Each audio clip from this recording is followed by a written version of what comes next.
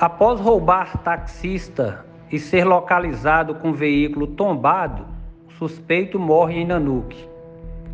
Os policiais militares rodoviários de Nanuque realizavam operação na MGC 418 quando foram informados de um roubo no trevo da MGC 418 com a LMG 713, que dá acesso à Serra dos Aimorés, onde o indivíduo havia esfaqueado um taxista na cabeça e levado seu veículo Fiat Uno de cor prata, tendo a vítima reagido e cortado o rosto do autor com uma faca.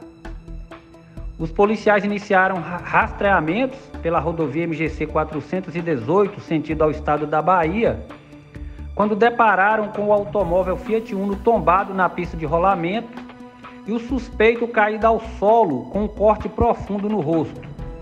Ao ser questionado o que teria acontecido e se ele estaria na direção do veículo, respondeu que não se recordava. A equipe do SAMU compareceu ao local e, devido à gravidade dos ferimentos, encaminhou o suspeito ao hospital de Nanuque, onde foi atendido pelo médico de plantão, mas lamentavelmente evoluiu a óbito.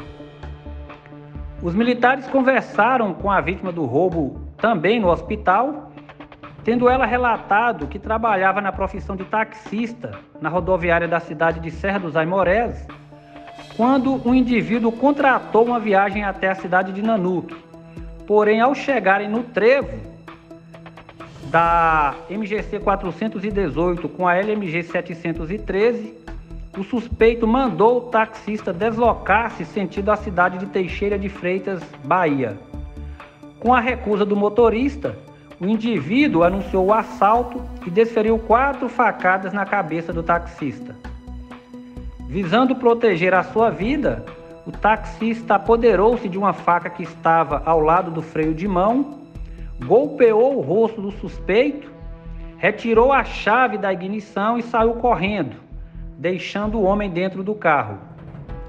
Devido à morte do suspeito, não foi possível averiguar outras informações a exemplo de como ele teria conseguido ligar o carro após a vítima correr com a chave, bem como averiguar o que realmente causou o tombamento do automóvel.